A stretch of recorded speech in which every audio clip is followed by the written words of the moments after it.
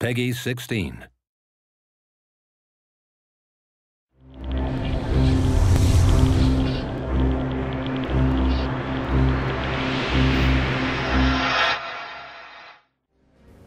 Hi, and welcome to the initial instruction of the open beta test of Ruse.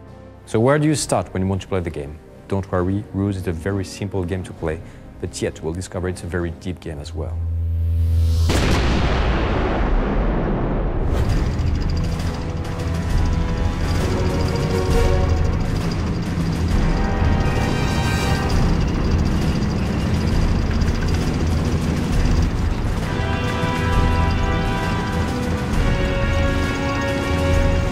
Please bear in mind that what you're going to see is just a fraction of the game, which also includes a huge single-player campaign, challenges, and many more multiplayer maps. The first point you're going to discover is its dimension. You fight over huge battle maps, but you can quickly move from point A to point B with the mouse wheel and keyboard arrows.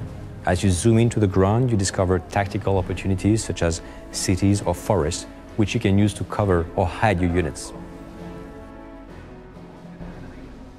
Ruse is a very open game.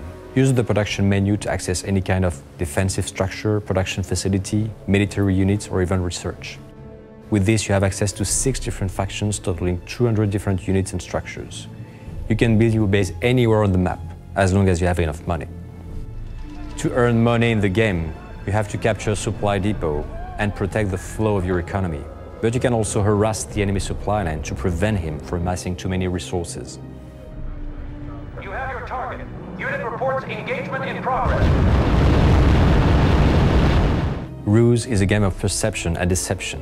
You see what the enemy is doing, but only partially, and this reality can be twisted. For instance, small and large ships represent light and heavy units, but some may be fake and some may be hidden. We give you 10 deception tools called ruses to alter this perception of reality in order to bluff and mislead your opponent.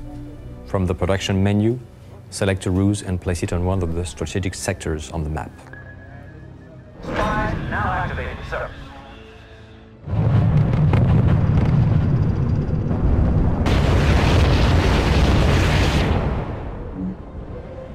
Let me give you some tips before you start playing. In life, deception is everywhere. Poker, politics, business, and so it is in ruse. Always check what your opponent is doing.